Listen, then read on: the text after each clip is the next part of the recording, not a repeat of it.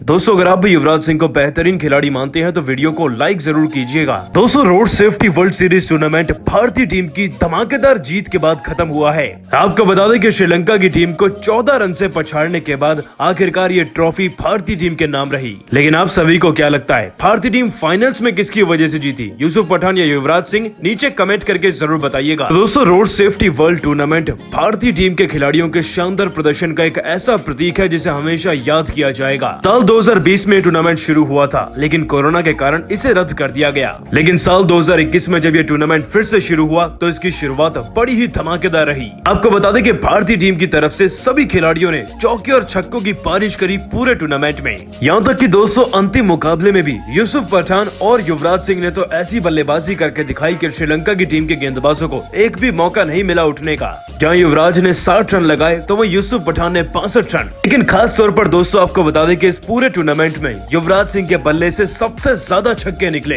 और उन्होंने कुछ ऐसी माइंड ब्लोइंग पारियाँ भी खेली जिनसे भारतीय टीम को जीतने में बहुत ही ज़्यादा आसानी हुई। शायद आपको याद होगा कि इस टूर्नामेंट में युवराज सिंह ने लगातार चार गेंदों में चार छक्के भी जड़े थे और शायद यही वजह है की हर कोई अब उनका मुरीद एक बार फिर से हो चुका है। हर कोई जो सोच रहा था की खराब फॉर्म के चलते युवराज ने संन्यास लिया, ये उनकी पारियाँ, उनको मुँह तोड़ जवाब हैं। लेकिन दोस्तों, साथ ही आपको बता दें कि भारतीय टीम की जीत का श्रेय इन सभी मुकाबलों में सचिन तेंदुलकर ने युवराज सिंह को भी दिया। तो चलिए आपको बताते हैं कि फाइनल्स जीतने के बाद सचिन ने युवराज और भारतीय टीम पर क्या कहा कि ये टूर्नामेंट सभी खिलाड़ियों के लिए वाकई में बहुत ज़्यादा यादगार रहेगा। सबने मिलकर प्रदर्शन किया और विश्व भर से छह टीमों के दिग्गज जब आपस में आकर खेले तो मुझे लगता है कि अब पूरी दुनिया में रोड सेफ्टी के बारे में अवेयरनेस ज़रूर फैली होगी। मैं तय दिल से शुक्रिया अदा करना चाहता हूँ सभी फैंस का, सभी खिलाड़ियों का, जिन्होंने टूर्नामेंट में पार्टिसिपेट किया।